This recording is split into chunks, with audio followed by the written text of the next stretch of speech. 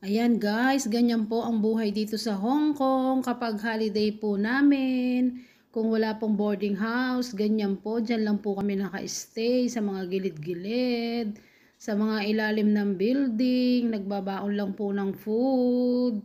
Ayan, ganyan po kahirap ang buhay ng mga OFW dito sa Hong Kong.